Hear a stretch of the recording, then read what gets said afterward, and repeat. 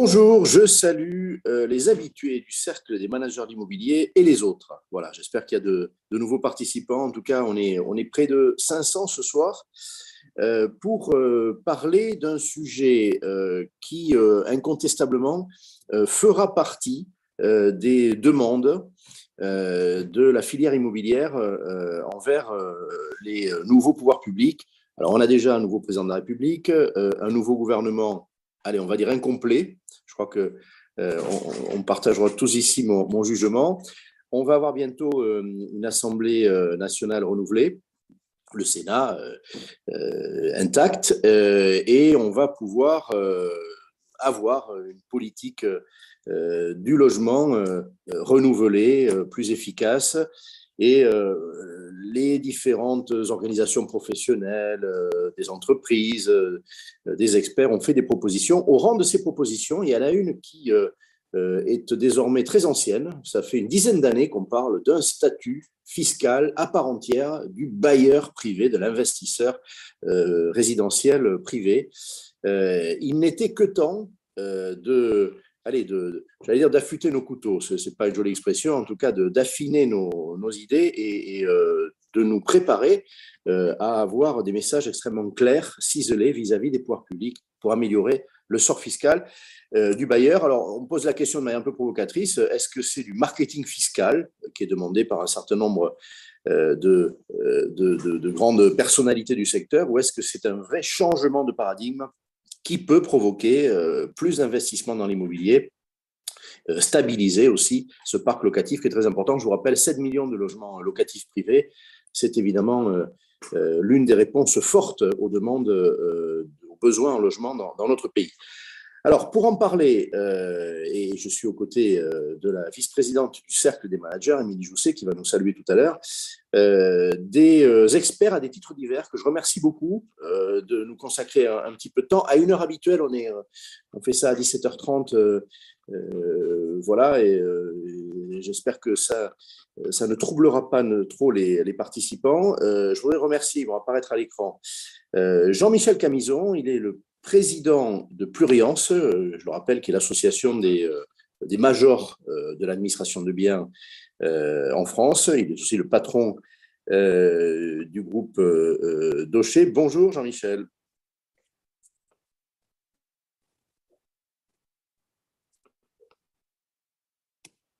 Bonjour Henri et merci pour votre Voilà, c'est bon. T'entendais pas. Merci beaucoup d'être avec nous. Euh, à sa suite, je suis par ordre alphabétique, hein, comme ça on ne me reprochera pas euh, quelques préférences que ce soit, j'en ai pas d'ailleurs. Loïc Chapeau, il est le, le, directeur des affaires euh, économiques, financières et internationales de la Fédération française du bâtiment, membre du Conseil national de, de l'habitat. Je dis aussi bonjour Loïc. Bonjour Henri, bonjour à tous. Merci beaucoup. Euh, très, très beau fond d'écran. Je ne sais pas si c'est chez toi, mais en, tout cas, c'est magnifique. Euh, à sa suite, Arnaud Accard. Il est le président fondateur d'ImoDirect. ImoDirect, c'est un administrateur de biens euh, qui a un recours extrêmement fort au digital pour apporter ses, services aux, propriétaires bailleurs.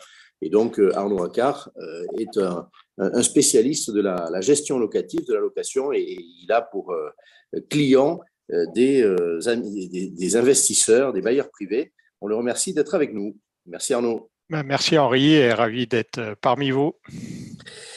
À sa suite, alors une figure, c'est un, un, grand expert, on, le voit dans les, dans les, médias, il a son émission sur Radio Imo, je le dis volontiers, il est, il, est, aussi euh, le patron de la revue 25 millions de propriétaires, c'est euh, Pierre Otus, euh, qui est le délégué général de l'Union nationale de la propriété immobilière. Bonjour Pierre. Bonjour Henri, bonjour à tous. Et enfin, une femme, pardon, parce que la parité est loin d'être atteinte, voilà, la mixité, on l'atteint grâce, grâce à Céline, pas la parité. Céline Menck, elle est euh, administratrice d'Anacofi IMO. Je rappelle que Anacofi, c'est euh, l'organisation professionnelle de référence des conseils euh, en gestion de, patrimoine. Et dans Anacofi, il y a, je dirais, un sous-ensemble qui sont les professionnels spécialisés dans les produits immobiliers, Anacofi IMO. Je dirais aussi de, Céline qu'elle est l'auteur du Va de Mécom de l'immobilier, un, ouvrage de référence, notamment pour les étudiants dans les écoles immobilières et même leurs professeurs. Bonjour Céline. Bonsoir, bonsoir à tous. Merci pour votre invitation. Merci beaucoup. Euh, alors, euh, voilà, bon, justifier euh, le, thème n'est plus nécessaire. On est déjà dans une période que je vais qualifier, on est largement entre professionnels, hein, parmi les participants, sans doute beaucoup de professionnels, peut-être aussi des, journalistes, des décideurs immobiliers.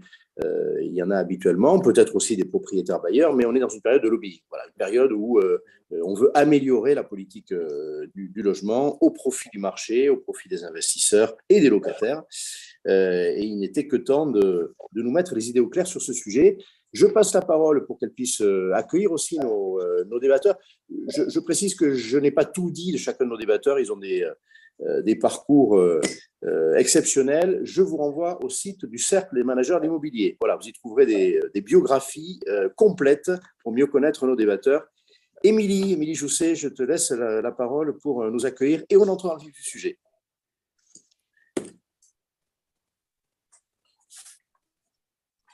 Bonsoir à tous. Désolée de ce petit temps de latence pour réactiver le son.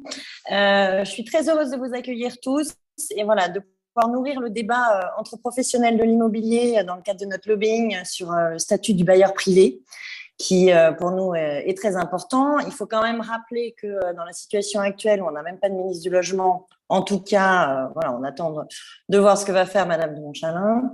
il est urgent pour nous de rappeler que voilà, on porte depuis, tu as dit 10 ans Henri, mais ouais, ça fait vraiment peur de se dire que ça fait si longtemps qu'on fait la proposition euh, d'un amortissement fiscal qui soit universel pour tout le parc locatif. Il faut quand même rappeler que bah, le parc locatif, c'est quand même 70% euh, voilà, des locataires. Et euh, c'est quand même le logement, il faut quand même tenir compte et faire le bilan de cette pandémie pour se rendre compte que le logement, c'est quand même le premier sujet des Français. Et du coup, on voulait voilà, avoir vos remarques, vos avis, vos propositions euh, dans le cadre de, ce, de notre cercle, puisque euh, ici la parole a toujours été libre et euh, la façon dont tout le monde, tous les intervenants peuvent inter, enfin, voilà, interagir et faire leurs propositions permet aussi à la profession, comme on l'a voulu dès le début de ce cercle, de, toute la chaîne immobilière, de pouvoir partager ces informations et ces propositions et d'être plus fort vis-à-vis -vis de nos pouvoirs publics. Donc euh, voilà, je serais heureuse d'avoir euh, vos contributions ce soir, euh, comme tous ceux qui nous regardent. Merci à tous.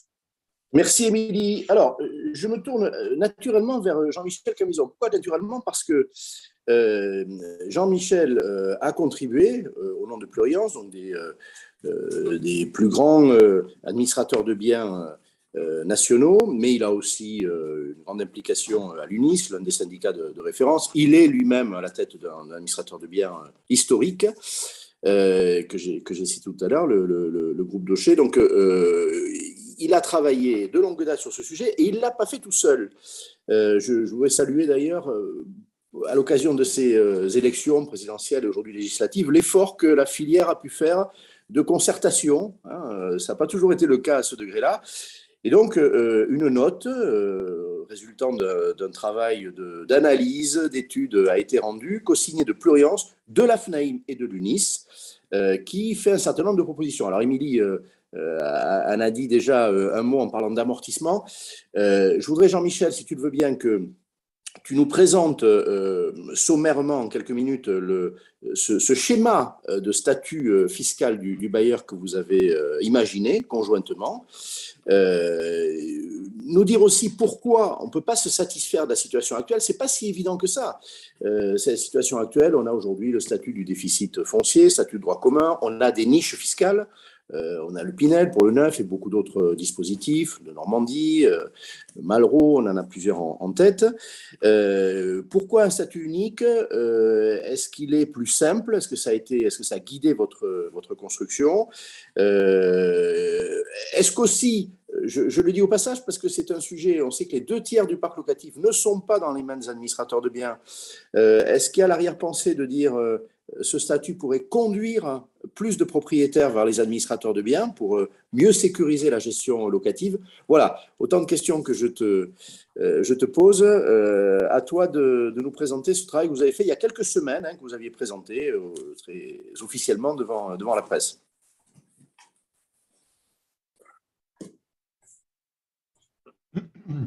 Ah, je pense que mon micro est activé. Vous m'entendez, Henri? C'est bon. Oui, pardon. Parfait. Tout bien. Alors, beaucoup de questions dans, ta question et, je voudrais revenir sur le début. Ça fait effectivement très longtemps qu'on travaille sur euh, un statut unique du bailleur privé, même si le terme est quand même euh, barbare, il faudra trouver quelque chose de plus sympathique, de plus sexy. Euh, aujourd'hui, ce qu'on peut constater, c'est que l'investisseur vit dans une jungle, dans une jungle d'offres, de, niches fiscales, d'avantages divers et variés qui ne favorisent pas, à mon sens, euh, la simplicité de l'investissement immobilier.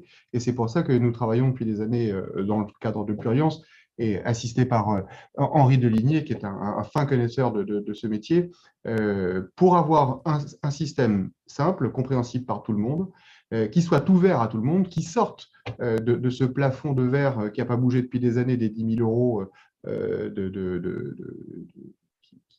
globalement qui ne peut pas être dépassé dans le cadre d'une niche fiscale, euh, pour inciter l'investisseur, de quelque bord euh, qu'il soit, à investir dans l'immobilier.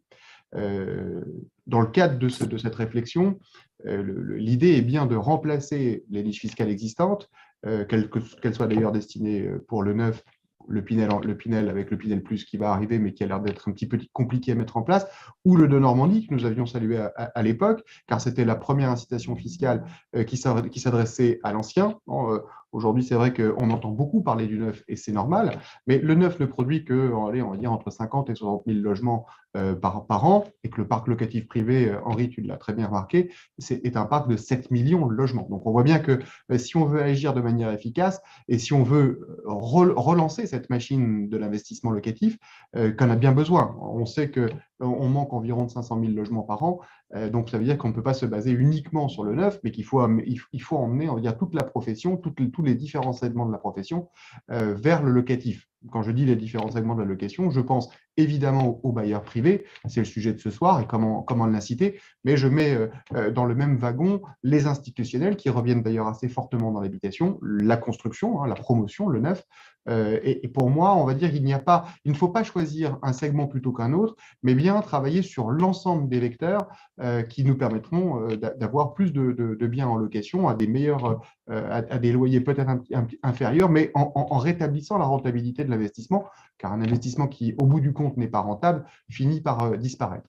Euh, nous poussons donc depuis déjà un, certain temps cette notion de l'amortissement. C'est vrai que l'amortissement, ce n'est pas quelque chose de grand public, ce n'est pas évident, évident à comprendre, mais euh, on a essayé de le, simplifier pour bien, faire comprendre d'abord à nos interlocuteurs de la puissance publique, parce que c'est eux qu'il faut convaincre en, premier, en particulier Bercy, hein, puisque derrière, c'est une histoire de sous globalement, à chaque fois qu'on présente ce dispositif, ce dispositif de l'amortissement, hein, euh, on, revient à quelque chose d'essentiel qui est de dire le bailleur privé est un acteur économique. Pour moi, le bailleur privé n'est pas un rentier.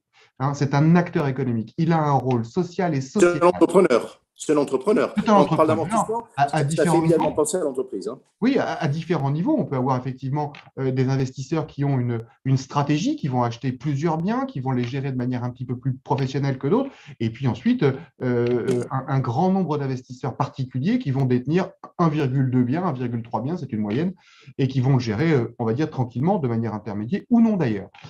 Et, il faut bien répondre à l'ensemble de, de, de ces gens-là. Donc, L'amortissement, c'est quoi? C'est considérer que cet investisseur euh, est un acteur économique et qu'à ce titre, il a le droit d'amortir son bien. L'amortissement, en gros, c'est un, système qui permet d'année en année de réduire la valeur du bien et de déduire, on va dire, de ses, euh, revenus une petite part euh, de la valeur de ce bien. Alors, c'est là où on a travaillé pour, essayer de, coller d'abord à la période, de coller à l'époque. Hein. Euh, je pense évidemment à la rénovation énergétique, en disant, OK, un amortissement, c'est bien, mais ça ne suffit pas. Aujourd'hui, l'idée principale que nous mettons en avant, c'est d'avoir un amortissement qui soit inversement proportionnel au loyer de sortie.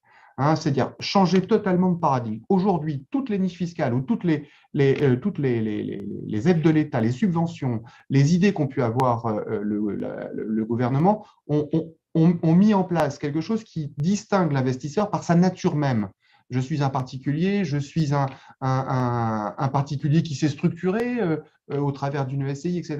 Or, euh, pour moi, le, principal, c'est bien le loyer de sortie. Ce qui intéresse le locataire, c'est bien ce qu'il va payer. Hein, ce n'est pas la nature même de son propriétaire, il s'en fout. donc, le, le changement de paradigme profond, c'est celui-ci. Regardez le loyer de sortie et ne regardons plus quelle est la nature de l'investisseur. Et quand je vous dis qu'un amortissement peut être inversement proportionnel au loyer de sortie, ça veut dire globalement que moins euh, que plus vous proposez un, loyer attractif, plus votre amortissement peut être important. Et ça, ça, a du sens parce que euh, ça peut permettre euh, globalement de faire baisser les loyers sans pour autant éroder la rentabilité de l'investissement locatif qui, on le sait, est déjà extrêmement faible. On est la rentabilité nette pour une année où vous ne faites pas de travaux, hein, autrement vous perdez des sous. Euh, elle, est, elle est de l'ordre d'un pour cent, 1,5%. Donc c'est absolument, euh, absolument ridicule en termes de, rentabilité, d'autant plus que vous avez les aléas de la vacance et des travaux. La rénovation énergétique qui vient se greffer dessus est, à mon avis, euh, peut-être, à mon avis, un bon moteur pour passer, cette, pour passer cette, cette, cette, ce, nouveau, ce, nouveau, ce nouveau véhicule euh, puisque moi je pense que l'amortissement peut être le moyen pour le propriétaire de financer ses travaux de rénovation énergétique. Ça va lui dégager un certain montant qui va lui payer les intérêts de sa dette. Et donc, voilà pourquoi aujourd'hui, je pense que euh, l'amortissement est une solution. C'est une solution pour tout le monde, pour tous les biens. Il n'y a plus de segmentation neuf ou ancien. Et euh, le rendre plus attractif en proposant un, loyer un petit peu plus bas, et là, on peut globalement se dire que pour du loyer libre, on serait sur un amortissement d'un pour cent. Sur du loyer dit intermédiaire, donc Pinel quand on est dans, du privé, ou euh, intermédiaire quand on est dans le social, 2%. Et ensuite, allons plus loin. On peut faire des propositions avec des loyers au PLU ou au PLUS, des ultra sociales, du social ou d'ultra social. Et là, on peut aller sur des amortissements plus importants, 3 ou 4%. Eh bien, cet amortissement que, que, va dégager donc chaque année de propriétaire va lui permettre de, prendre un crédit pour sa rénovation et, donc que ce crédit soit, le coût de ce crédit soit financé euh, par cet amortissement. D'accord, écoute, c'est très clair. Donc, euh, je reformule une équation en quelque sorte euh, qui fait varier la reconnaissance fiscale, la capacité d'imputation, de, de, réduction, d'amortissement en fonction du montant du loyer, de, ce qu'on appelle le dividende social hein, payé par le bailleur. Il y a mmh. ceux qui vont accepter par euh, choix personnel, euh, par conviction, un loyer euh, très bas en contrepartie une meilleure fiscalité. Ceux qui vont vouloir un loyer qu'on qualifiera de libre, de marché, ils auront une moindre reconnaissance fiscale. Donc voilà, on fait varier. Et tu as donné quelques chiffres. Donc il peut y avoir des, des, des échelons euh, mais on peut aussi imaginer une, continuité en quelque sorte, hein, et on fait, on fait varier mathématiquement hein, euh, euh, l'amortissement selon le, loyer. Donc ça, c'est très clair. Tu nous parles aussi de la capacité d'autofinancement hein, qui serait dégagée grâce à cet amortissement pour faire des travaux. On est dans l'air du temps. C'est une, une, nécessité. Vous aviez même parlé de, de livret vert dans votre proposition. Voilà, pour encourager à, à, investir et à faire des travaux euh, euh, de transition environnementale. Euh, c'est très clair. Un, sujet, tu, disais tout à l'heure, tu es passé vite, tu as fait une petite phrase en disant ceux qui autogèrent ou qui donnent à gérer. Ton regard, est-ce que tu penses que ça viendrait plutôt, ou c'est pas fait du tout pour ça, et vous, êtes sorti de ce sujet-là, conduire des bailleurs vers la gestion déléguée, ou c'est hors sujet? Non, ce n'est pas hors sujet. Aujourd'hui, on, estime que 35% du parc, du, parc locatif est intermédiaire. Donc, c'est assez peu. Hein. C'est un constat d'échec pour la, pour la profession. Ça veut dire quand même qu'un grand nombre des bailleurs gèrent seuls, ou, euh, euh, oui, bah, gèrent seuls, ils sont non intermédiaires. Je pense qu'on euh, on peut, on peut, en proposant des solutions qui sont un petit peu plus complexes en termes de gestion. Euh, si on va faire de l'amortissement, ça veut dire qu'il faut une tenue comptable vraiment rigoureuse, d'autant plus si on va chercher euh, un, suramortissement au travers d'un loyer de sortie plus bas, ça peut nécessiter effectivement un petit peu plus de compétences comptable. Si on lie en plus ceci à de la rénovation énergétique, euh, oui, ça peut, ça peut ramener des, propriétaires vers l'intermédiation. Aujourd'hui, pourquoi on est aussi bas en intermédiation? Bon, je pense qu'il y, a un problème de rentabilité. C'est vrai que aujourd'hui, bah, les, administrateurs de biens pratiquent, on va dire, des honoraires autour de 5% hors taxe. Je prends le cas d'un appartement seul euh, en dehors d'un bloc ou, d'un immeuble. Hein. On va dire en moyenne, ça tourne entre 4,5 et 5%. Euh, donc, ce n'est pas neutre hein, au, niveau des revenus, d'autant plus quand on a une, rentabilité qui est extrêmement faible. Donc, on, Peut, comprendre à un moment donné que, euh, que bah, le, le, propriétaire, l'investisseur, soit tenté en se disant Bon, je vais le faire seul. Par contre, si on va vers des, mécanismes un petit peu plus complexes, euh, euh, là, peut-être que la, participation d'un professionnel peut aider. C'est clair. En termes de conseils, en termes de conseils juridiques, en termes de conseils euh, financiers. Je vais vous dire aujourd'hui, avec la chape de plomb qui, est sur, qui sont sur les loyers aujourd'hui, on parle, et j'imagine que tu lanceras le sujet plus tard, Henri, mais l'inflation qui est en train de, de, grandir fortement, 5,2 hein, ce matin, hein, c'est le chiffre de ce matin pour le mois de mai. on estime, on va dire, une inflation aux alentours de 8 pour la rentrée des classes, aux alentours de septembre donc ça, ça devient sérieux, même si la France est mieux placée que ses, que ses voisins européens, en particulier l'Angleterre.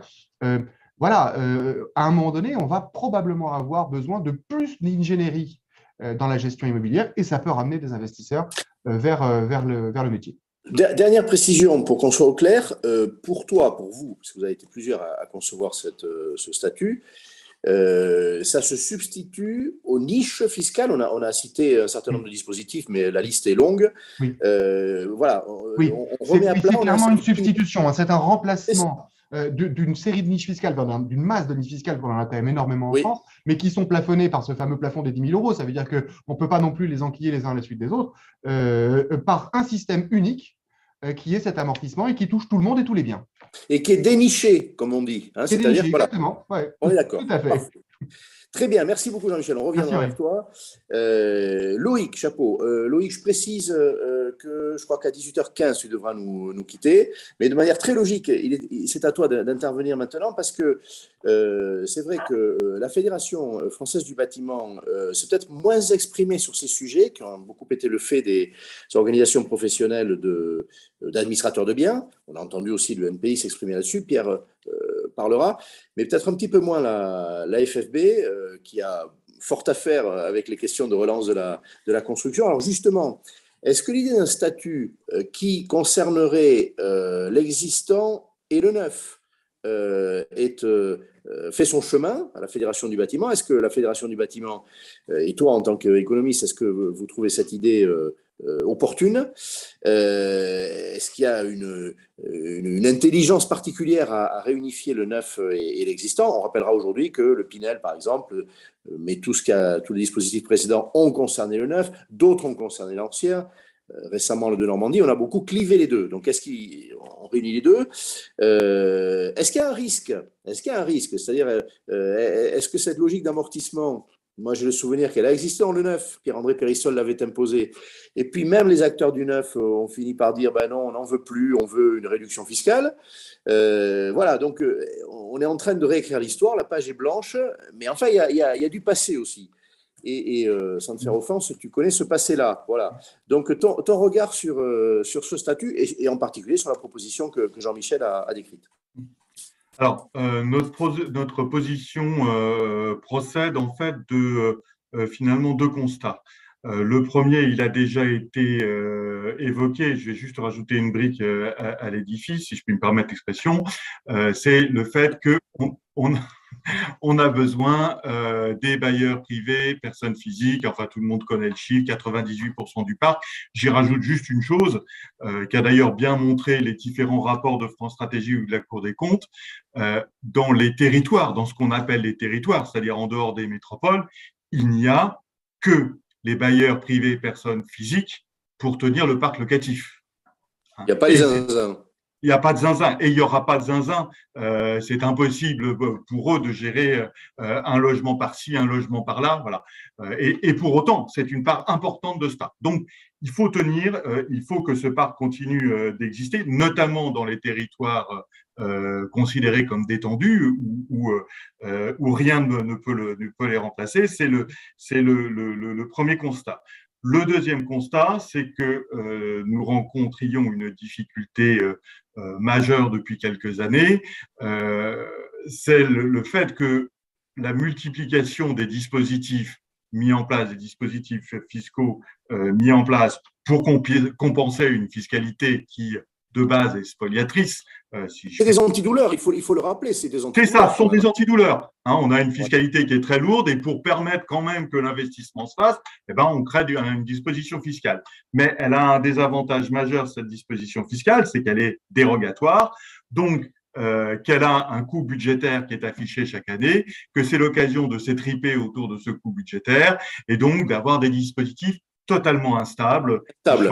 Voilà, avec euh, comme dernier avatar, eh bien le, Pinel Plus ou le Vargon moins, je ne sais pas comment le comment l'appeler. Euh, et puis et puis encore ce matin, vous l'avez probablement vu, euh, la Cour des comptes qui s'exprime sur ces dispositifs dans les dans les dom Voilà je ne, je, ne, je ne, juge pas de, la pertinence sur le fond euh, des critiques de la, de, la, de la, Cour des comptes ou de France Stratégie, mais je souligne que euh, cela donne lieu à des combats picrocolins à chaque projet de loi de finances, à chaque projet de loi de finances euh, révisé. Et donc, on a des dispositifs totalement instables, que nous sommes dans un secteur où, entre la décision d'investir d'un ménage et le moment où il va bénéficier de son bien, il va pouvoir s'écouler deux, trois, quatre ans, que si la fiscalité, les règles fiscales ont changé entre-temps, ça se transforme, ça peut se transformer en catastrophe. On a connu des cas euh, où ça s'est manifesté ainsi. Et donc, euh, qu'il fallait euh, un peu sortir de cette, de cette logique-là. On, dit même, c'est un clin d'œil, je me l'autorise, hein, oui. peut le faire, que ces dispositifs sont le moyen pour des personnalités politiques d'attacher leur nom à l'histoire de la politique du logement sans que ce soit forcément des raisons très, très fondées. Voilà. Bon, je, je, c'est toi qui l'as dit. C'est moi qui j'assume. Voilà. Non, non, mais bien sûr. Euh, voilà. Donc, euh, face à ce, double constat-là, euh, nous avons nous avons phosphoré un peu. on n'a pas été très cherché très loin puisqu'il y avait, comme comme ça a été signalé notamment par, toi, depuis une dizaine d'années déjà des choses qui circulaient sur la place, le statut du bailleur privé.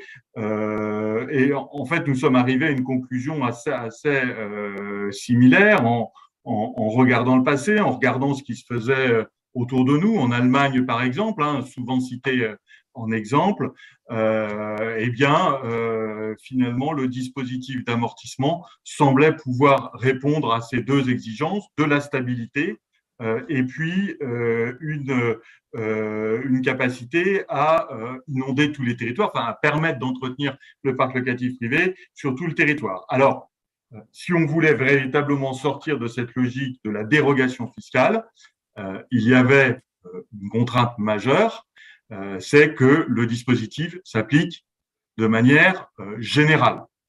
Dès lors qu'on distingue le neuf, dès lors qu'on distingue une localisation, une zone plutôt qu'une autre, dès lors que l'on distingue un, niveau de loyer ou un autre, on a le risque de basculer dans un dispositif dérogatoire et donc de retrouver euh, ce qui nous avait ce qui nous semblait très pénalisant à l'origine. C'est pour ça que euh, finalement on a construit un système général qui s'applique à tout, neuf existants, euh, quel que soit l'âge, quelle que soit la qualité, quelle que soit la localisation euh, a priori. Alors après, on peut réfléchir à, des modulations, mais un dispositif large qui permette véritablement de rentrer dans une logique euh, générale qui repose sur une mécanique finalement assez simple, celle de l'amortissement. Alors, c'est moins immédiat, évidemment, pour un ménage lambda que la carotte fiscale, entendons-nous, mais je pense que ça peut s'expliquer assez facilement. Et d'ailleurs, ça vient de nous être, ça vient de nous être fait, et, ça me semble, ça me semble compréhensible. Euh, cette logique d'amortissement, elle s'appliquerait aussi bien euh, dans notre système à l'achat du bien euh, que euh, à la réalisation de gros travaux, c'est une logique économique. Dès lors qu'on prolonge la vie du bien par des gros travaux, eh bien, on peut amortir. C'est une logique économique Et nous avons essayé euh, de calibrer. Alors évidemment, on sort du système des niches fiscales, du plafond des niches fiscales, etc., etc. Et nous avons essayé de calibrer un dispositif de façon à ce qu'il coûte pas trop cher pas beaucoup plus cher, voire pas plus cher que la somme des dispositifs fiscaux aujourd'hui. Euh, sachant qu'il a bien vocation, avant que tu nous poses la question, que le dispositif que nous avons construit a vocation à remplacer l'ensemble des dispositifs fiscaux, avec une exception majeure, le Malraux, parce que le Malraux, c'est autre chose. C'est autre chose. on n'est pas voilà, c'est pas. Euh, et puis, bah, il y, a une réflexion qui, pour le coup est très stable. Je, le dis. Pour le coup, voilà. Son nom en témoigne. Hein. On ne peut pas lui reprocher à celui-là l'instabilité. Mais parce qu'il répond à une logique autre et une logique propre. C'est vraiment pour le pays, tout à fait. Exactement, exactement. Euh, voilà donc en, gros le, système qu'on a construit. Euh, on arrive à un coût budgétaire de 4,4 milliards d'euros, 4 à 5 milliards d'euros par an, donc on est bien euh, dans les purs. On a un système général, comme je l'avais dit. Alors, évidemment, ça offre un peu moins de rentabilité en première analyse que ne le permettait le, le, Pinel, par exemple, dans le neuf, mais nous avons estimé que c'était le prix de la stabilité. Voilà. Ça, ça conservait, ça, permettait de conserver une rentabilité a priori euh, suffisante, euh, moyennant une stabilité du, dispositif. Voilà donc dans les grandes lignes ce que, ce que nous avons. Euh, c'est très clair. moi, je, note, bon, avec l'ancienneté que, je, que je revendique, mais tu l'as aussi, que c'est un vrai progrès parce que j'ai le souvenir, il y a encore quelques années, de discours des professionnels du neuf, de la construction, en disant l'amortissement, c'est le neuf. Euh, dans l'ancien, euh, franchement, c'est une logique qui, euh, ne, répond pas à, la demande. Économiquement, c'est absurde. Aujourd'hui, il y a une, vraie évolution. Donc, l'amortissement peut concerner, alors avec, j'imagine, des, des taux différents, des degrés différents, mais le neuf comme l'existant et la rénovation, hein, les travaux associés à l'existant. Absolument. Alors, les taux différents, c'est une vraie question parce que euh, faire des taux différents, c'est risquer de rentrer à nouveau dans le régime du dérogatoire. Oui. Et donc, et donc d'avoir un affichage d'un coût euh, lors d'un lors projet de loi et donc, et donc ouvrir le flanc à la critique, à une critique, euh, c'est exorbitant, etc., Donc, on, serait même, on, serait même, sur, sur, des, sur une équation, je, je dis avec mes mots, oui. commune. Mais ce qui se fait en Allemagne a quelque chose près. Oui. Ce qui se fait en Allemagne a quelque chose près. Voilà. Donc l'équation, elle, elle, est la plus commune possible.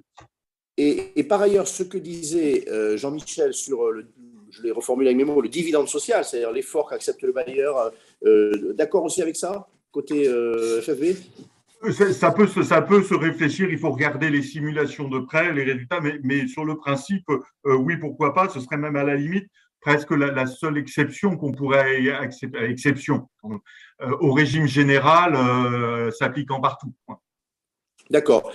Euh, et dernière chose, je, dirais, mais ce n'est pas une question perverse, c'est ce qui s'est passé, je l'ai dit tout à l'heure, euh, les promoteurs, notamment, hein, euh, la fédération des promoteurs à l'époque, l'histoire n'est pas contestable, euh, après avoir aimé l'amortissement que Pierre-André Périssol avait imposé à Bercy, c'était une grande victoire idéologique, les promoteurs ont dit non, on préfère, c'est trop compliqué, notamment pour le, les ménages, voilà, le, retail, comme on dit, qui ne sont pas les grands investisseurs, c'est trop compliqué, il faut en venir à une réduction d'impôts.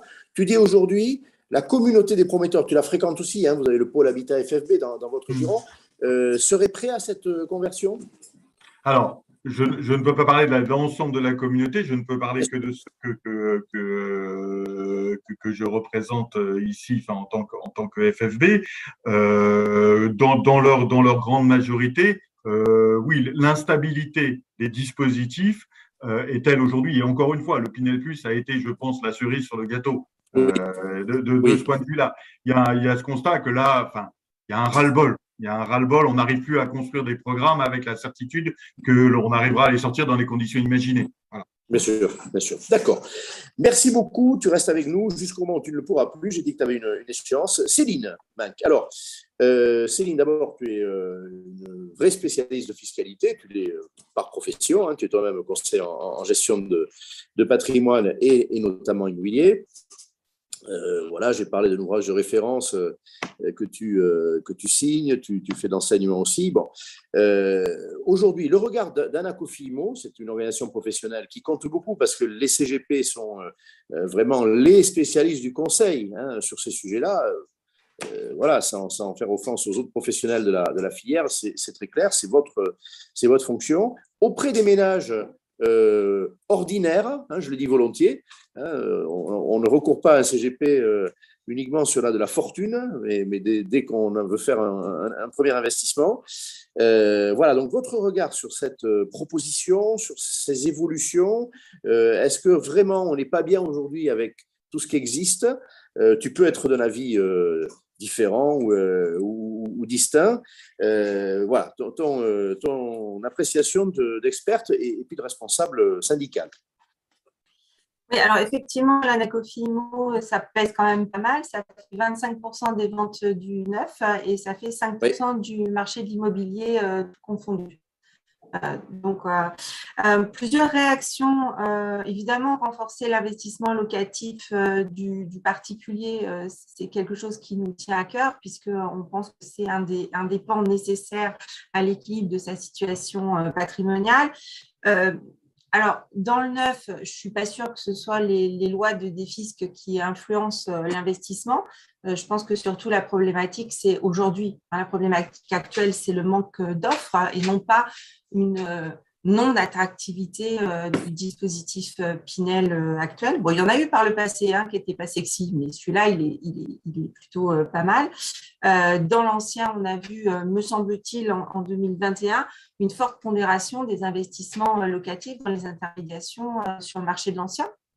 Historiquement, on était à 12-13 points. Là, je pense qu'on est quand même bien au-dessus, sans, attendre, sans, atteindre les, les, 20 points revendiqués par certains, mais je, pense qu'on a une belle pondération. Donc, le, renforcer la l'attractivité de, de l'investissement. C'est important, effectivement. le, le, Century 21, hein, euh, depuis plusieurs années, donne des chiffres qui sont très élevés. il y a peut-être une, déformation, comme on dit, par la localisation du réseau, etc. En, euh, en, termes dynamiques, il est évident que ces dernières années, on a évolué hein, et que parti de 8 ou 10% on est euh, probablement entre, entre 15 et 18 voilà, ce sont des chiffres convenus, euh, même si certains euh, disent 20 ou 22% On a beaucoup progressé sur l'appétence à l'investissement immobilier, voilà, pour te donner raison. C'est ça. Euh, après, euh, le fait de vouloir donner euh, une image d'acteur économique de cet investisseur et non pas l'image entre guillemets péjorative d'un rentier, c'est effectivement aussi notre cheval de bataille. Et ça depuis de nombreuses années, parce que moi je me souviens d'un rendez-vous à la DHUP où on est venu défendre la location meublée non professionnelle, puisque ces investisseurs prennent vraiment des risques pour pallier euh, ce que l'État ne fait pas et remplir le rôle sociétal euh, d'investir dans des résidences gérées, notamment les seniors, euh, EHPAD, etc. Donc vraiment, cette image d'acteur économique peut être défendue de, différentes façons. Euh, le plafonnement global des niches fiscales, bah, aujourd'hui, tous les dispositifs dont on dispose ne sont pas hein, dans le plafond des niches fiscales. On a cité le Malraux tout à l'heure. Bah, effectivement, le Malraux est sorti du plafonnement global et tous les déficits de droit commun, le déficit foncier et le déficit BIC, ne rentrent pas non plus euh, dans le plafonnement global des niches fiscales. Euh, le coût budgétaire des dispositifs fiscaux, alors là, j'aimerais bien vous renvoyer à une étude que plusieurs euh, syndicats professionnels ont commandité, ont mandaté auprès du cabinet PrimeView. Euh, avec Pierre Sabatier, qui a été présenté de mémoire en 2019, où on fait ça. très précisément du coût pour l'État des dispositifs fiscaux et où on voit, mais formellement, que les dispositifs fiscaux font gagner plus d'argent à l'État qu'ils ne leur en coûtent. Euh, en gros, c'est un rapport de ça coûte 1 euro et ça leur rapporte 1,65 euro. Parce que certes, dans le coût, il y a l'aide fiscale qu'ils donnent aux particuliers, parce que ça leur rapporte, il y a tous les droits de mutation, il y a la TVA collectée, il y a euh, les, les, impôts sur les salaires des gens qui travaillent dans le bâtiment. Enfin voilà, donc l'État est largement bénéficiaire pour faire plaisir euh, à dernière... Capot, je, je, rappellerai d'ailleurs que cette étude euh, du cabinet Primeview avait été présentée à la faveur d'un colloque tout à fait, euh, à la par FFB. du bâtiment. Voilà. Tout à fait, tout à fait. et puis, dernier point de, pour rebondir sur ce qui a été dit avant de, répondre à ta question, Henri, les dispositifs, souhaiter une, stabiliser des, pardon, une stabilité des dispositifs fiscaux, euh, pardon euh, Loïc, je, titille, mais est-ce que c'est pas plus pour les promoteurs que pour les investisseurs? Mais en même temps, je, comprends tout à fait que pour le promoteur, ce soit extrêmement déstabilisant de savoir que dans deux ans, et là, alors le Pinel Plus en est l'exemple un peu plus flagrant, hein, parce qu'on ne sait même pas ce que va donner les immeubles qu'on construit aujourd'hui sous le truc du Pinel, même si c'est la, enfin, ce qu'on dépose aujourd'hui en permis de construire. Donc, je, comprends complètement. Mais, mais est-ce que cette stabilité euh, n'est pas plus un besoin côté promoteur que côté investisseur euh, pour le coup? Alors, les positions de l'ANACOFI, pour les faire euh, très rapides et très claires, peut-être on va vous passer le, lien de, ce qu'on a publié en début d'année, comme on le fait chaque année. Il y avait les propositions financières fiscales de l'ANACOFI, dont les propositions immobilières. Et en gros, la, grande ligne, c'est ce serait d'appliquer le plus possible le comptable de l'entreprise. Donc, euh, vous allez penser qu'on rejoint euh, la, volonté d'être sur euh, quelque chose d'unique, type amortissement. mais pour autant, bah, on voit que dans beaucoup de situations, ça ne fonctionne pas. Et le fait d'avoir différents outils comme on peut l'avoir aujourd'hui, et, quand on regarde globalement, il n'y en a pas tant que ça quand même. Hein. Euh, il y en a peut-être qui ne sont pas assez adaptés, et ça, j'y reviendrai après. Euh, mais quand on regarde un peu précisément, eh ben, on voit que c'est bien parce que euh, certaines personnes vont, sur une petite fiscalité, avoir plus d'intérêt avec une réduction fiscale type Pinel qu'un amortissement, par exemple. Et puis, il y en a d'autres qui ne vont pas le comprendre, l'amortissement. Et puis, l'amortissement, comme on l'évoquait tout à l'heure, par exemple, à 2% par an, ça veut dire qu'on est sur une détention de 50 ans pour avoir un amortissement du bien. Et surtout, il y a un point important, c'est que je ne suis pas sûre euh, que euh, le législateur euh, nous, accorderait cet amortissement sans nous basculer sur les plus-values comptables. Or, la plus-value. Pierre juste après toi. C'est un grand sujet. Et donc, aujourd'hui, on, connaît le système des dotations aux amortissements, hein, qui consiste en, en matérialiser la dépréciation d'un bien immobilier. On la connaît, euh, cette, dotation aux amortissements, avec le statut du loueur en meublé, professionnel ou non professionnel. Dans le statut du loueur en meublé non professionnel, donc avec des critères de, montant de, recettes annuelles et euh, de, montant de ces recettes par rapport aux autres revenus du foyer, donc, le statut du loueur meublé non professionnel nous permet de, pratiquer les dotations aux amortissements, donc de fabriquer artificiellement ces charges, mais pour autant de rester dans le calcul des plus-values immobilières du particulier. Donc, euh, la plus-value est calculée sur la différence entre le prix de vente et le prix de revient du, bien, sans tenir compte des dotations et donc de ces charges artificielles qu'on a enlevées sur la valeur du bien. Le loueur meublé professionnel, en revanche, lui est en plus-value comptable. Donc, la plus-value, elle est, entre guillemets, euh, totale à la fin de la dotation aux amortissements. Ça veut dire que si le particulier est amené à vendre son bien alors qu'il a pratiqué les amortissements, s'il passe sur de la plus-value comptable, euh, la plus-value euh, va être la différence entre la valeur comptable, c'est-à-dire potentiellement zéro, si on est à la fin de la période d'amortissement, et le prix de vente. Donc, ça va être énorme pour les, pour les, pour les investisseurs. Alors après, j'ai fait un petit, je ne sais pas si on peut la mettre en, ligne, un, petit comparatif. Alors, Milena euh, va nous projeter, voilà, c'est en cours. Donc, je suis partie euh, des datas qui avaient été euh, données euh, justement dans l'agenda logement 2022. donc, j'ai repris le montant. L'agenda logement, pour traduire, c'est ce travail commun que j'ai évoqué, que Jean-Michel a, présenté au nom de Pluriance, FNAI Munis. Hein. On appelait ça l'agenda logement, qui avait plusieurs propositions qui étaient estimées urgentes, on va dire, pour les, les futurs pouvoirs publics. C'est ça. Donc, j'ai repris exactement leurs données. Euh, donc de revenus fonciers. Les charges foncières ordinaires, donc j'ai repris les 9% de frais de gestion qui incluent également la GLI, les charges de copro, la taxe foncière euh, des propriétés bâties, l'assurance propriétaire non occupant.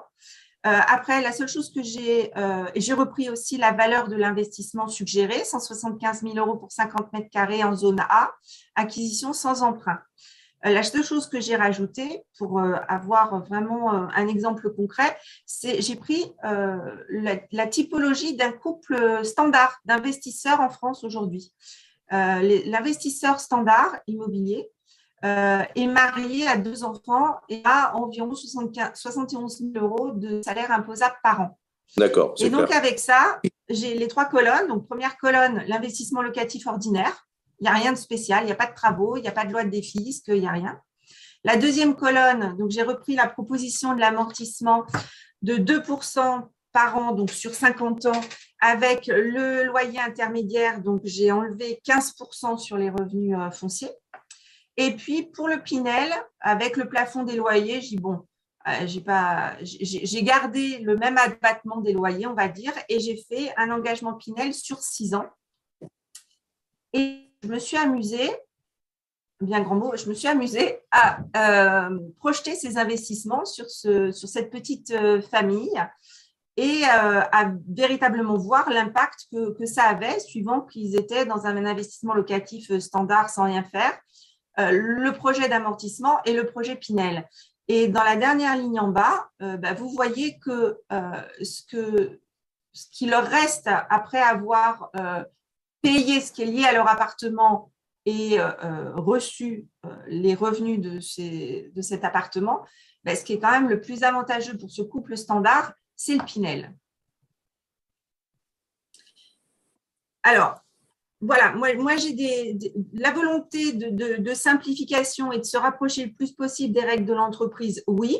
La volonté d'une stabilité, notamment pour nos promoteurs qui nous fournissent ces produits, euh, oui. Euh, mais euh, un, dispositif unique, ça serait pour nous nier les, différences qu'il va y avoir mais, les différences euh, et, élémentaires, évidentes, nécessaires qu'il y a entre les foyers. et aujourd'hui, cette, pluralité est intéressante parce qu'elle permet de vraiment de, nous adapter au mieux. En plus, tous les investisseurs ne sont pas les mêmes, c'est-à-dire que il y a des investisseurs qui vont plutôt être attirés par le neuf, il y en a d'autres qui vont plutôt aller dans l'ancien. Euh, il y a un dispositif là qui a été mis en place il n'y a pas très longtemps, le lock avantage, qui me paraît pas mal, mais pour un primo-investisseur, c'est compliqué. Euh, en revanche, par exemple, pour rebondir aussi sur nos propositions de début d'année, et, euh, ça, je sais que c'est quelque chose qui a été également mis en avant par LifeName il y a quelques semaines, c'est le de Normandie. Je trouve que c'est un, beau, un, beau sujet mais il n'a il a, il a pas réussi à trouver son public parce que je pense que les, les, les, promoteurs, enfin les, les acteurs euh, professionnels euh, n'arrivent pas à le mettre en œuvre. Et je trouve que c'est extrêmement dommage. Et une de nos propositions, ce serait, mais pourquoi, plutôt que de focuser ce de Normandie sur des cœurs de ville, pourquoi ne pas l'élargir à tous les biens qui auraient un DPE F et G? Et là, mmh. pour le coup, ça donne de la visibilité, ça donne de la stabilité, ça donne des opportunités euh, aux, investisseurs, ça permet la rénovation du parc énergétique et, on garde quand même de l'autre côté euh, un Pinel qui agit en réduction fiscale parce qu'encore une fois, suivant le loyer, suivant, suivant le foyer, pardon, suivant la fiscalité, agir en réduction ou en déduction, et, ben, ça ne fait pas les mêmes choses et ça ne se comprend pas de la même façon pour les, pour les gens euh, investisseurs. Et puis, je ne suis pas sûre non plus que tout ça soit que lié à la défisque, comme tu l'évoquais euh, tout à l'heure. Euh, je pense qu'il va y avoir une, problématique évidente euh, avec l'inflation et le, blocage des, loyers. Et puis, il y a aussi une, problématique des, loyers impayés où on, voit hein, les gens essayent d'aller vers la location meublée ou la location saisonnière pour essayer d'échapper à cette problématique-là. C'est dommage. Merci beaucoup, Céline. Loïc nous, quitte, je le précise discrètement, mais euh, on savait qu'il avait une contrainte. Euh, Pierre Otus. Euh, alors, Pierre, tu es très attentif aux, questions fiscales. On rappellera que l'UNPI rassemble allez, ceux qu'on va appeler les petits propriétaires. Euh, on, a, on a beaucoup dit euh, l'essentiel du parc euh, aujourd'hui, c'est un chiffre qui a été donné, appartient à des multipropriétaires. bon, multi, ça commence à partir de deux, mais beaucoup n'ont qu'un logement. Voilà, et globalement, ceux qu'on appelle les, les propriétaires bailleurs qui détiennent ils sont de l'ordre de 5 millions d'entre eux. L'essentiel de ces 7 millions de logements locatifs, ce sont tes adhérents.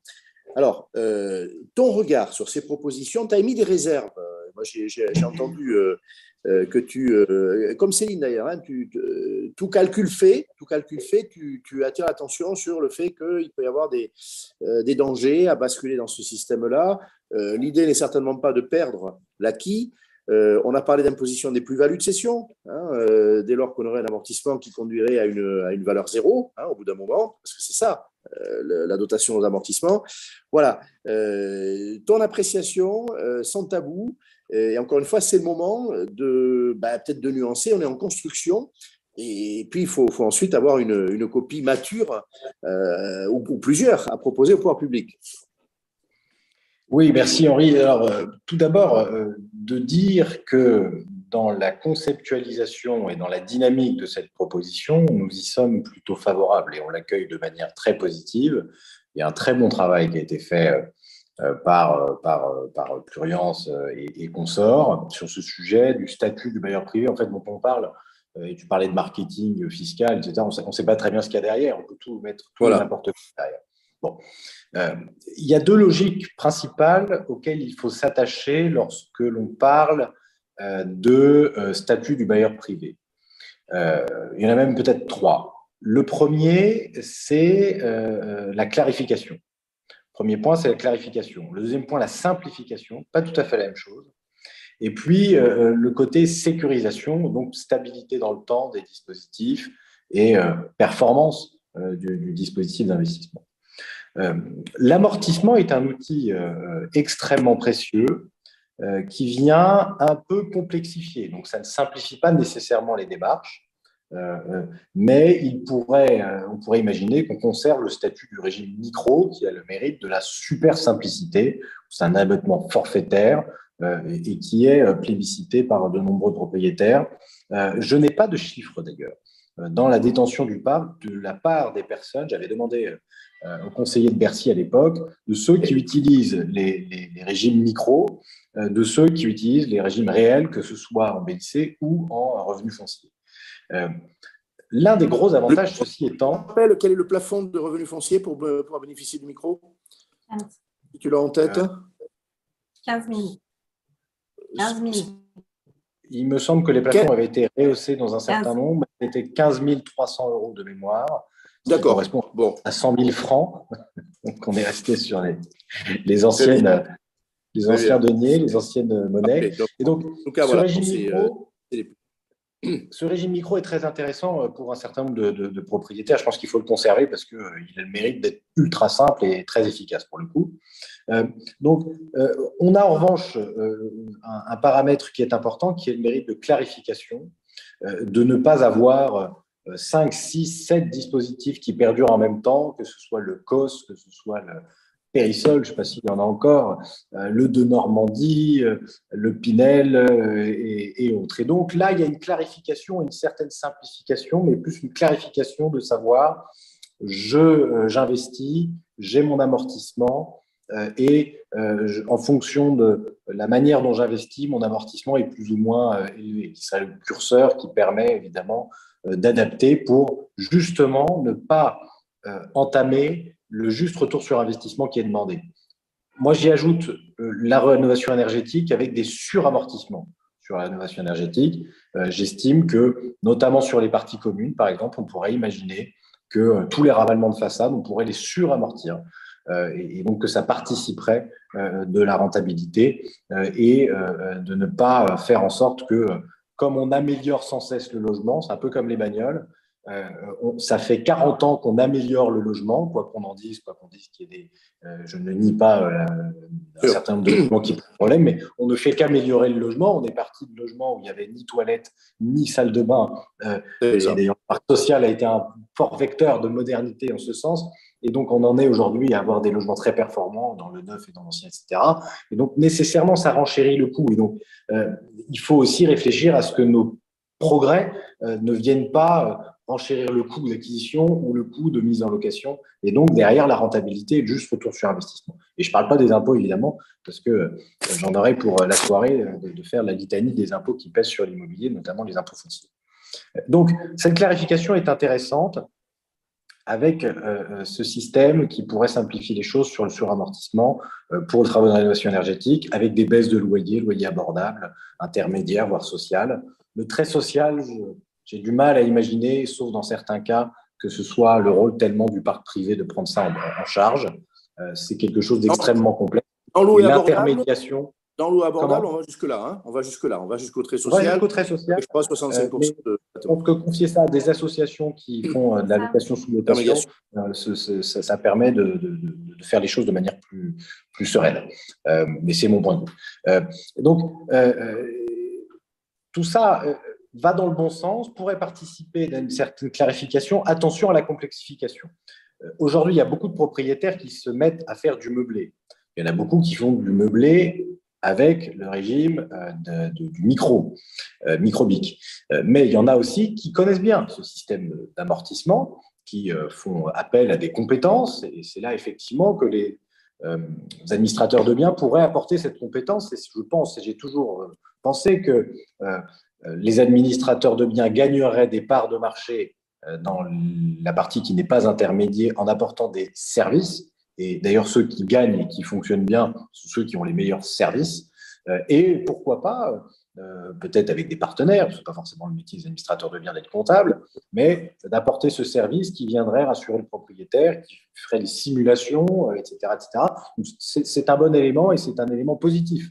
je, suis moins friand de l'obligation urbi torbi de passer par un agent immobilier pour telle ou telle raison. Euh, donc, effectivement, il y a une petite complexification qui arrive sur le fait d'aller sur un amortissement. C'est un peu plus complexe à imaginer. C'est pas euh, comme un abattement avec le régime du déficit foncier classique, euh, reportable, imputable sur les revenus pour la première année, où on a un montant d'ailleurs qui est historiquement le même depuis des années et des années, 10 700 euros. Je ne suis d'ailleurs pas forcément favorable au doublement de ce déficit mais euh, je ne veux pas sortir du sujet pour un certain nombre de raisons. Euh, non, mais c'est là-dessus, parce qu'effectivement, effectivement, euh, entendons-nous bien, si on passe sur l'amortissement, les mécanismes d'imputation du déficit foncier sur le revenu global ou sur le revenu catégoriel, tout ça disparaît hein, au, bénéfice de l'amortissement. Tout à fait. Pas tout à fait. Parce que le système et le régime du meublé tel qu'il existe aujourd'hui, donc qui a ce système d'amortissement, permet tout de même dans la même mesure que le déficit foncier, d'imputer un certain nombre de charges qui s'appliqueraient et qui seraient imputables aux revenus globaux euh, euh, la première année. Donc on peut combiner et rester sur ce système. Il y a une limite tout de même, effectivement, sur l'imposition des plus-values. Euh, quand vous détenez un immeuble dans une SA à l'IS, forcément c'est à l'IS, une société anonyme, eh bien, vous payez la plus-value sur la totalité du bien que vous auriez éventuellement amorti. Voilà. Donc, si vous possédez 280 mètres carrés euh, dans le centre de Paris, euh, eh bien, même 70 ans après, vous payez une plus-value sur plusieurs millions d'euros et donc ça vous empêche presque de vouloir vendre et de racheter euh, ensuite quelque chose d'autre, même plus petit, vous vous appauvrissez en faisant ça. Et donc, il faut permettre que cet amortissement n'entame pas la capacité à bénéficier de l'imposition des plus-values des particuliers. Euh, sauf à être à l'IS, effectivement, dans une société. Mais tant que vous êtes à l'IR, il faut préserver ce qui existe déjà dans la location meublée, donc le modèle est quand même existant, de dire, ben voilà, l'imposition des plus-values, avec un mécanisme extrêmement complexe d'ailleurs, de euh, jusqu'à 22 ans puis 30 ans sur la CSG et l'impôt sur le revenu, euh, eh bien, tout de même d'être imposé uniquement sur la plus-value et pas la totalité du bien.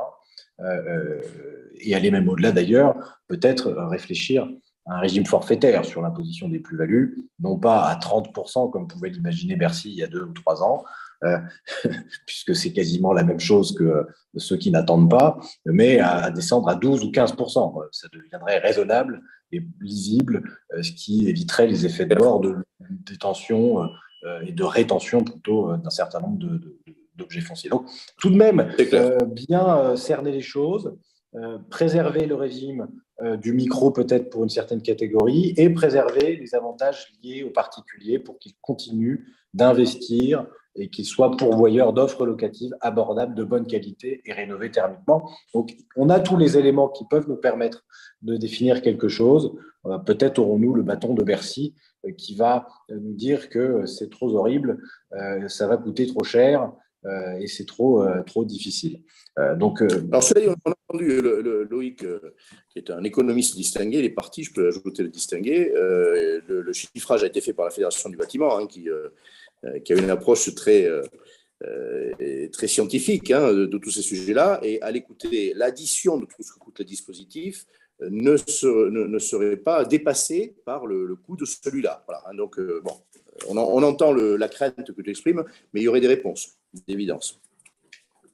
alors, je, vais donner, je te remercie, on reviendra vers toi. Je donne la parole à Jean-Michel, qui l'avait demandé tout à l'heure, peut-être juste avant que tu n'interviennes, d'ailleurs, et ensuite Arnaud Accard, euh, administrateur de biens euh, digital que je ferai euh, réagir, notamment sur la, relation client et la, réaction des, bailleurs, que tu as évoqué aussi, Pierre. Jean-Michel.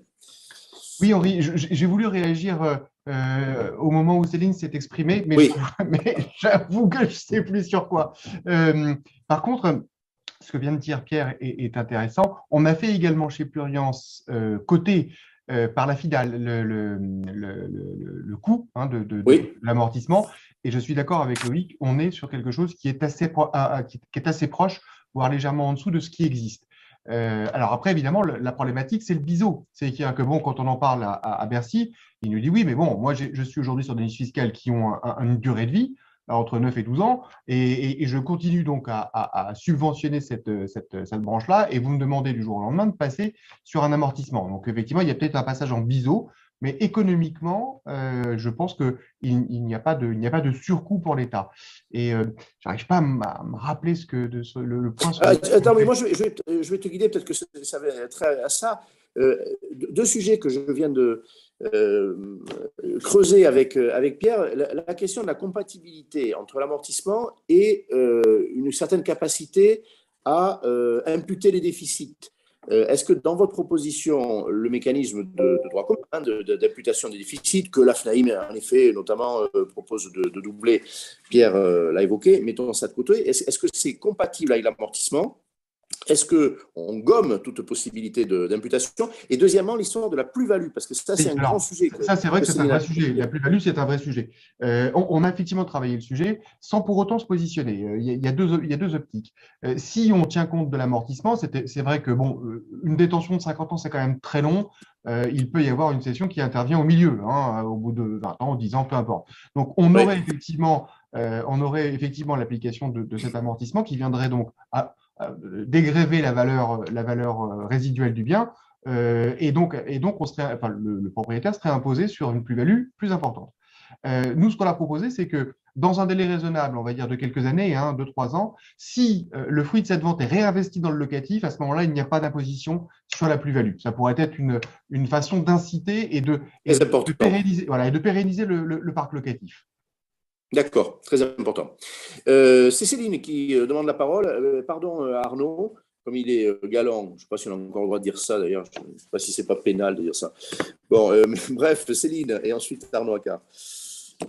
vous m'entendez là? Oui, très bien. Ouais. non, c'était pour réagir tout à l'heure. Juste une petite parenthèse sur l'amortissement qui serait éventuellement envisagé sur la location meublée, par exemple saisonnière.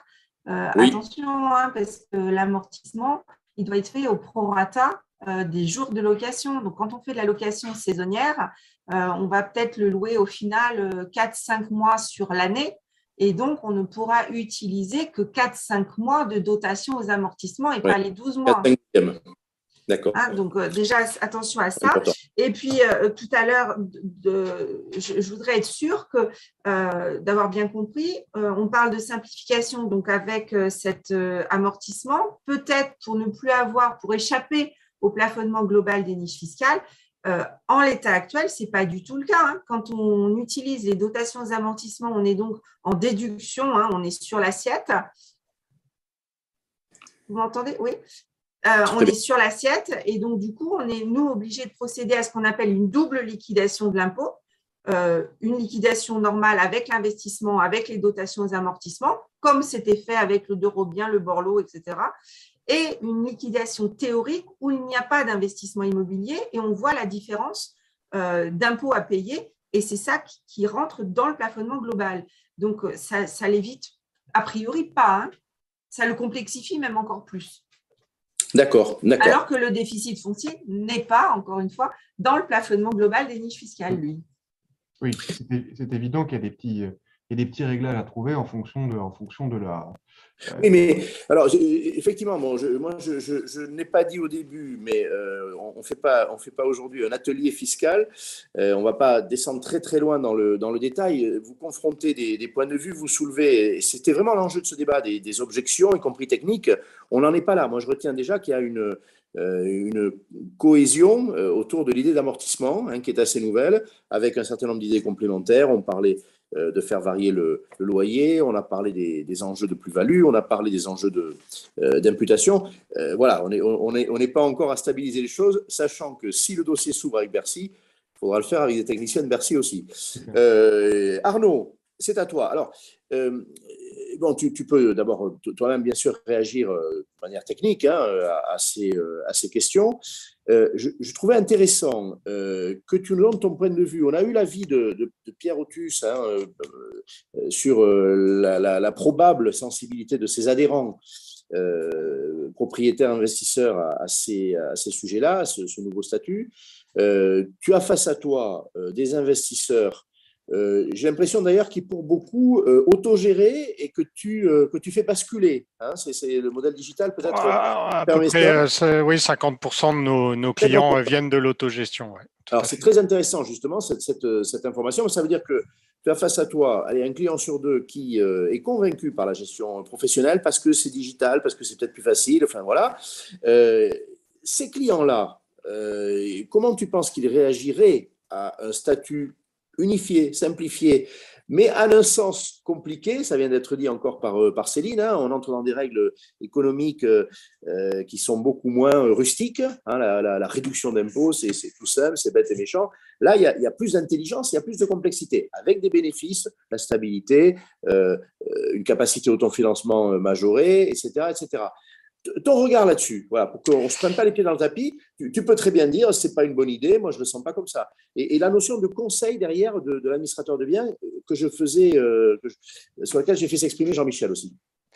Ok, merci, euh, merci Henri. Moi, je vais revenir euh, parce que on est une entreprise digitale, donc euh, forcément on collecte de la data et, et avant, de, avant de venir dans cette conférence, j'ai été chercher deux trois chiffres qui vont interpeller, je pense, l'audience. Donc nous, parce qu'à chaque fois qu'on a un prospect en ligne, on fait des enquêtes aussi auprès de nos clients et 63% des prospects nous demandent si on va s'occuper, enfin si on va les aider dans la déclaration fiscale. Donc on est quand même loin de l'optimisation fiscale. Donc, je pense que déjà, il y, a, quand même un petit bémol par rapport à, à, tous les experts qu'on peut être autour de, de, la table. Et pour les moins de 45 ans, c'est 72%. Donc, euh, euh, déjà pour un investisseur, euh, il se dit, oh là, mais comment je vais faire ma déclaration fiscale? Derrière, le, constat, c'est que le niveau de connaissance globale sur la fiscalité est vraiment quasi pas zéro, mais, pas loin.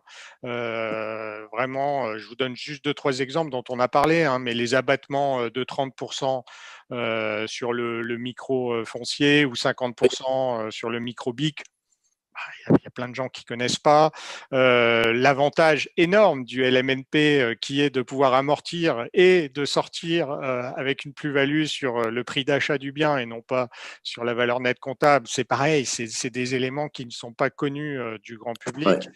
et je pourrais en citer bien d'autres, même le fait, il y a plein de propriétaires, par exemple, qui se mettent, qui, qui, se lancent et qui, qui louent en meublé, mais ils savent pas que le meublé, c'est du BIC et ils pensent que c'est du revenu foncier, etc. Donc, il y a, vraiment, vraiment, vraiment besoin d'accompagnement.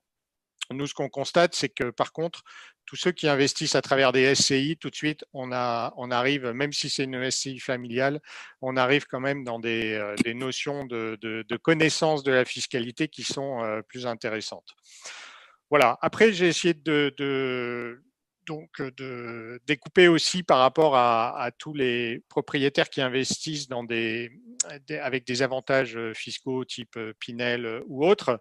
Et en fait, ces gens-là, souvent, ils sont bien accompagnés, ils sont accompagnés par Céline et, tous ses confrères.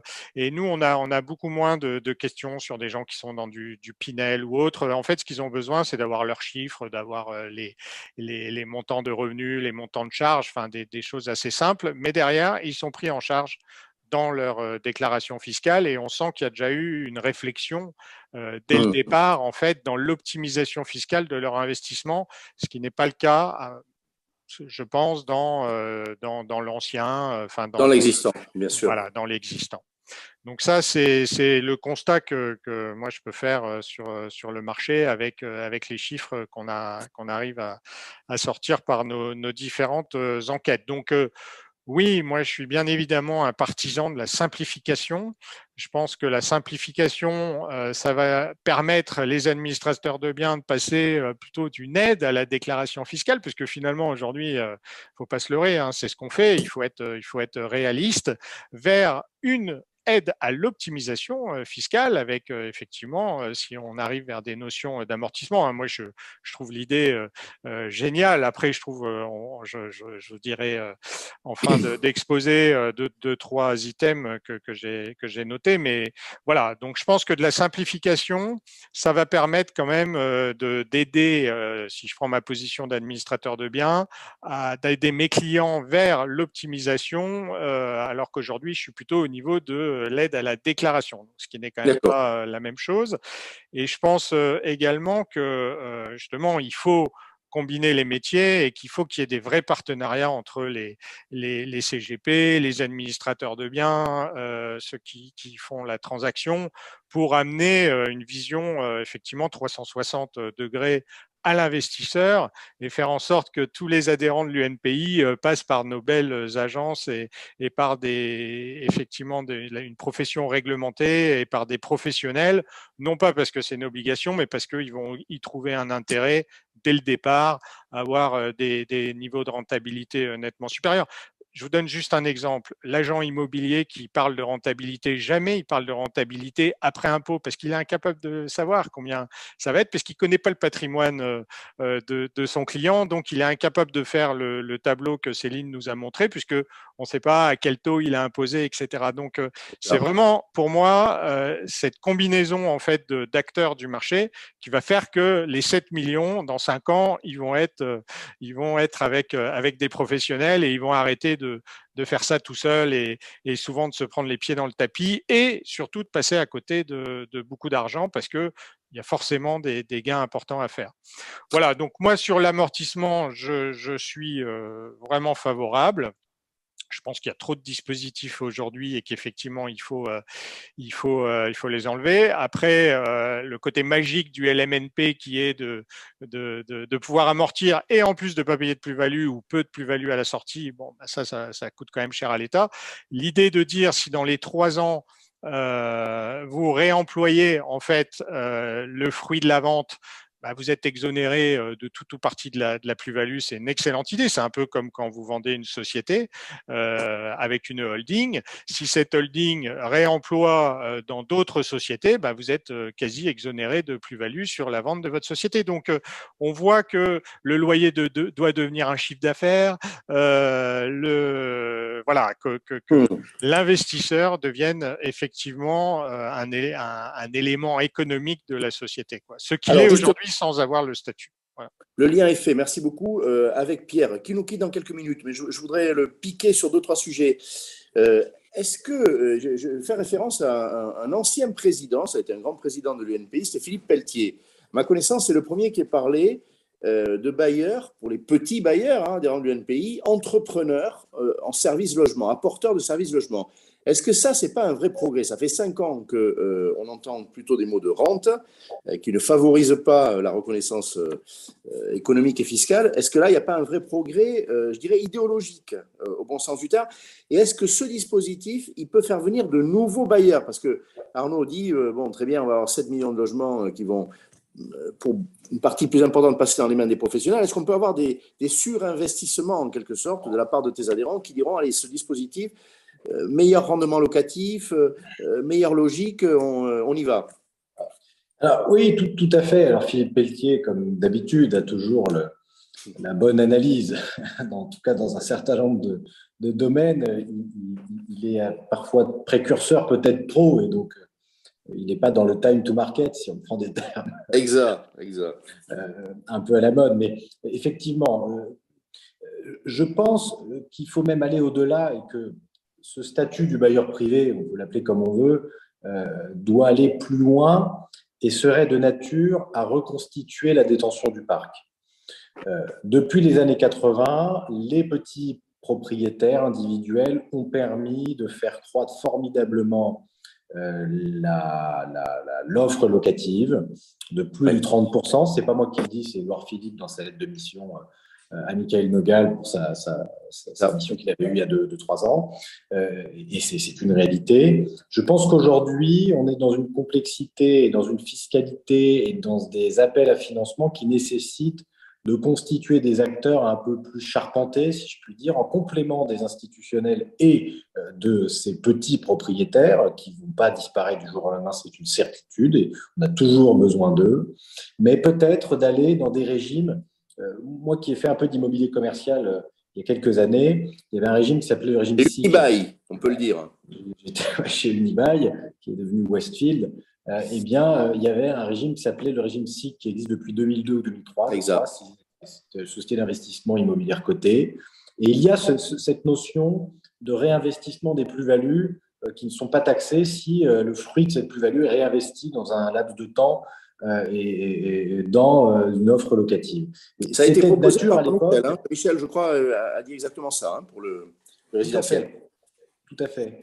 Et, donc, euh, c'était à l'époque pour développer l'investissement et capitaliser un peu ces sociétés euh, pour le développement du commerce, etc. Euh, etc. Peut-être peut-on utiliser ce même type de mécanisme et de tirer le fil de, la réflexion de, grande qualité qui a été faite jusqu'ici par, par Pluriance et consorts, eh bien, euh, et nous autres ici autour de, cette table virtuelle, euh, eh bien d'aller chercher des acteurs qui viendraient un peu se, grossir euh, et d'être intermédiaires et d'être des sociétés d'investissement pas cotées nécessairement, je pense pas, mais qui viendraient se nicher entre la cotée et le petit bailleur pour investir dans nos territoires et répondre à toutes ces grandes problématiques qui, nous viennent, qui est euh, comment, la redéfinition et l'aménagement du territoire dont on parle sans cesse, mais euh, dont on a du mal à, faire les contours, la rénovation énergétique, l'amélioration de l'habitat, avec euh, l'ANA qui, à mon sens, doit devenir une enrue du parc privé à, proprement parler, pas seulement une agence de distribution d'aide caricature évidemment en disant ça, parce qu'il ne faut pas que ça, mais euh, d'avoir une certaine puissance, de regagner cette puissance qu'ils avaient autrefois, en tout cas l'ANA, euh, et, donc avec des opérateurs d'envergure qui seraient capables de répondre à ces systèmes d'amortissement, avoir des professionnels qui les accompagnent, de confier en gestion une certaine partie de leur patrimoine. Mais ce seraient des gens qui auraient 2000, euh, 3000 lots, sans être pour autant euh, des euh, grands institutionnels qui, euh, qui se réengagent aujourd'hui, mais qui pourraient se désengager dans trois ou cinq ans. On ne sait pas pourtant, quelle mesure cela perdura. Sans te retarder, je te permettre de faire un peu de publicité, mais c'est au bon sens du terme. il s'est créé dans le giron de l'UNPI Foncière de France. Hein. tu, tu, viens de les évoquer là, hein, par, par, ton, ton discours.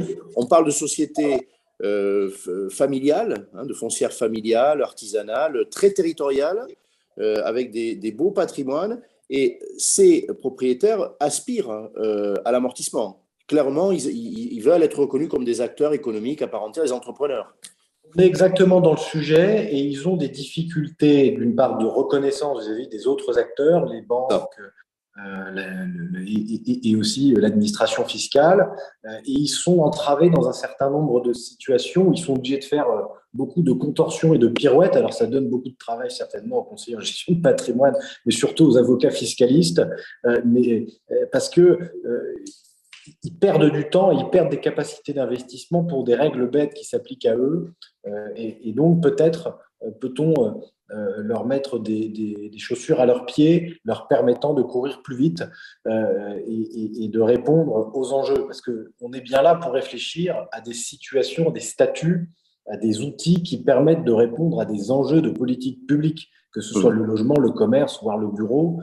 je pense qu'il faut qu'on réfléchisse aussi par ce biais-là euh, et c'est pour ça que la réflexion est bonne euh, d'être dans une dynamique qui permet à la fois de donner un juste retour sur investissement de cet investisseur, qu'il soit petit, moyen ou gros d'ailleurs, euh, tout ça au service d'une offre locative de qualité, abordable, et, qui répond aux grands enjeux de la rénovation énergétique qui va nous tomber sur le nez dans les semaines qui viennent.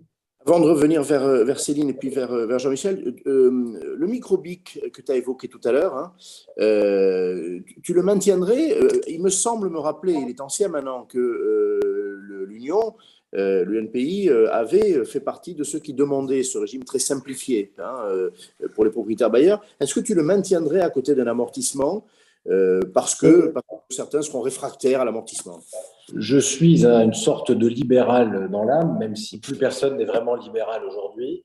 Donc je ne le revendique pas tant que ça, mais je pense que le mieux euh, chasse l'ancien euh, et que donc peuvent perdurer euh, si le système que nous proposons et que nous pourrions bâtir est suffisamment bon, il va faire disparaître petit à petit les autres dispositifs, sauf sur les dispositifs dont on parlait tout à l'heure, mais en tout cas vis-à-vis -vis du régime micro, je pense qu'il peut cohabiter tout cas un certain temps, euh, sans problème, parce qu'il répond quand même à une demande de gens qui se disent bon, euh, j'ai tant de revenus, j'ai mon locatif, c'est pas pas pas compliqué, je j'applique l'abattement, j'y gagne pas forcément euh, financièrement, mais j'y gagne en confort. C'est clair. Et, ça, c'est quand même quelque chose qui est inestimable, je pense. Le confort et la simplicité d'action permettent à un certain nombre d'acteurs de faire les choses. Donc, on est vraiment sur un autre créneau et je pense qu'il peut perdurer en tout cas un certain temps. Merci beaucoup, Pierre. Euh, si tu t'en vas, euh, on, te salue. merci à vous. Euh, et merci beaucoup. À bientôt.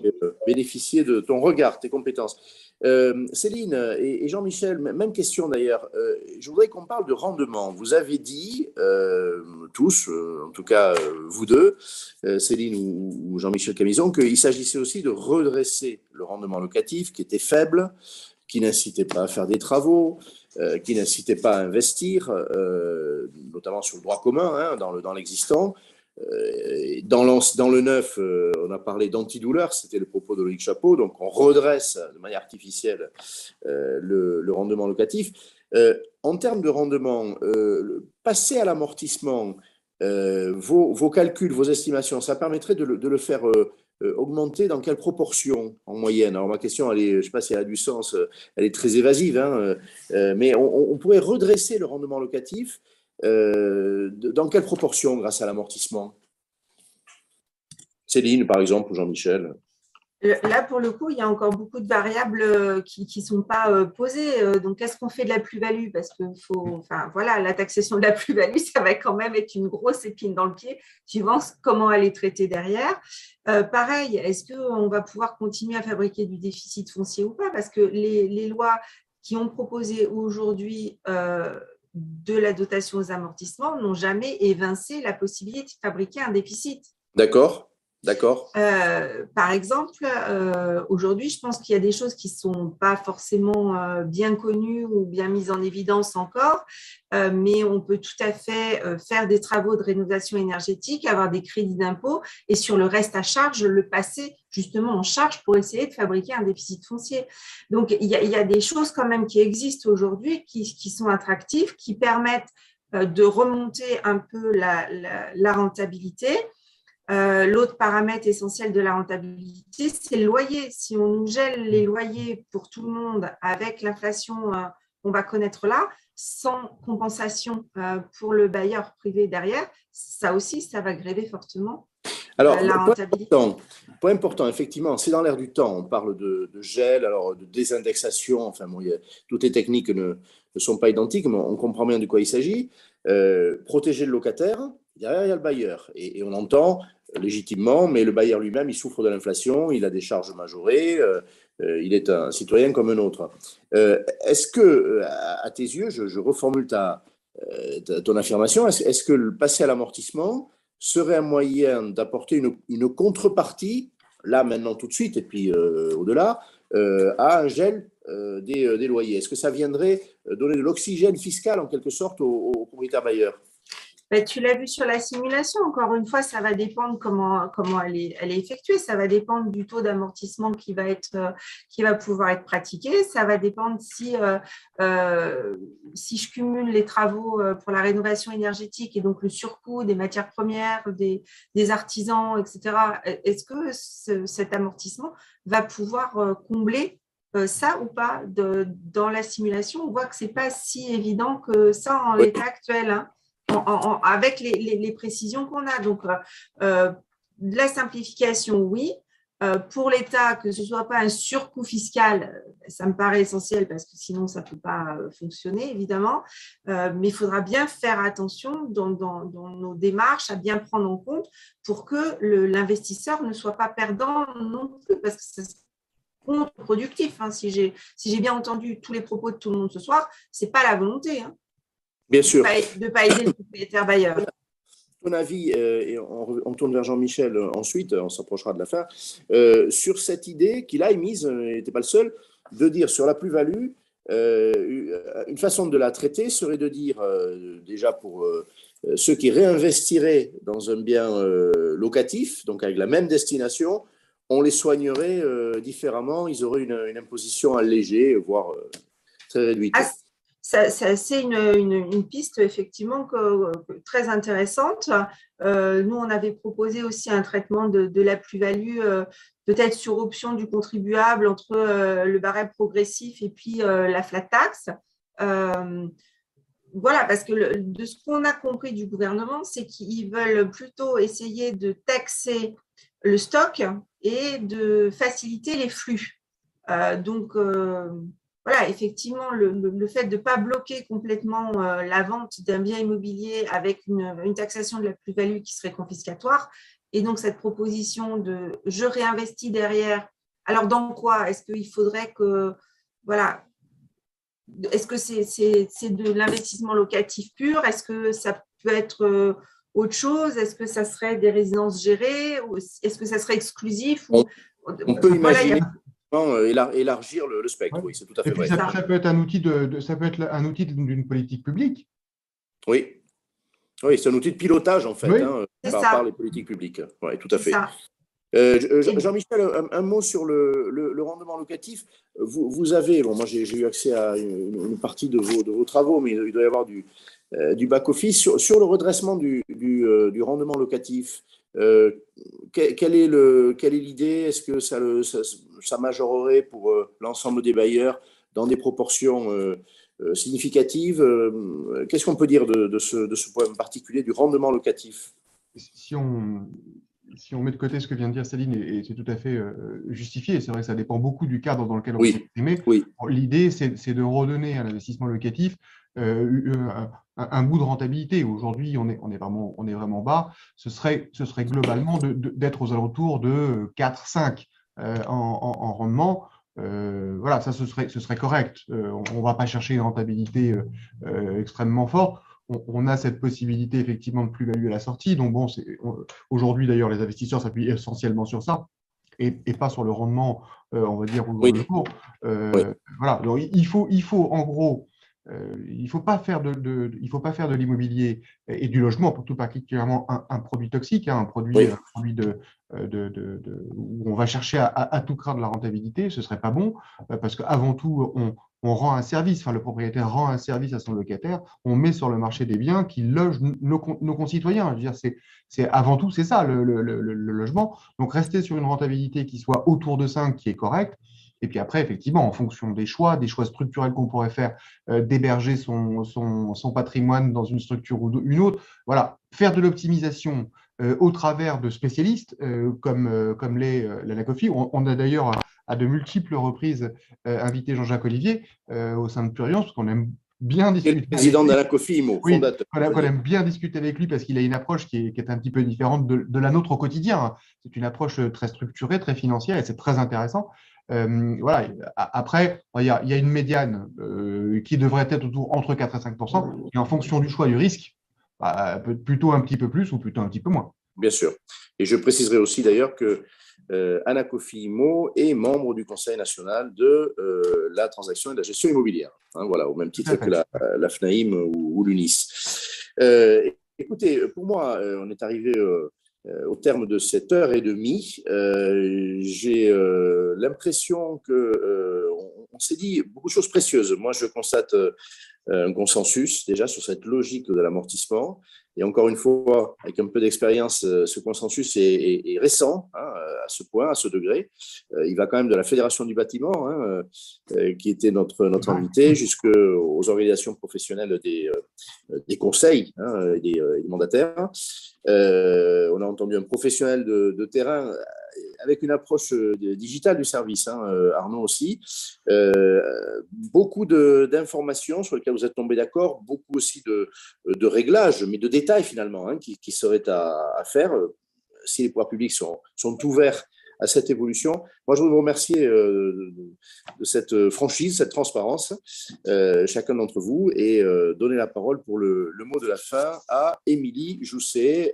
Rendez-vous, la date n'est pas encore fixée, mais dans un mois, vous saurez très vite et de quoi on va parler et du jour précis. Merci Henri. Oui, effectivement, c'est pas encore quand on se retrouve, mais c'est sûr, c'est dans un mois sur un sujet toujours aussi passionnant. Euh, je note quand même ce soir euh, qu'il aura fallu dix ans, et c'est tant mieux, voilà, pour avoir une unanimité euh, dans ce débat sur cette proposition. Ça ne donne que plus de poids à cette idée et à cette méthode que nous maintenons, qui pour nous professionnels est une simplification et non une complexification pour les bailleurs qui s'autogèrent. Euh, et je vois aussi que du coup, les professionnels sont prêts à prendre euh, la main sur ce service à apporter euh, à nos clients actuels et futurs. Et c'est d'autant plus intéressant. Donc, je vous remercie tous. Euh, débatteurs invités. Euh, voilà, pour ce débat encore une fois de haut niveau sur un sujet technique précis mais au combien important. Merci à tous et à très bientôt. Merci beaucoup. Bye bye. Merci. Merci. Merci à tous. Au revoir. Au revoir. Au revoir.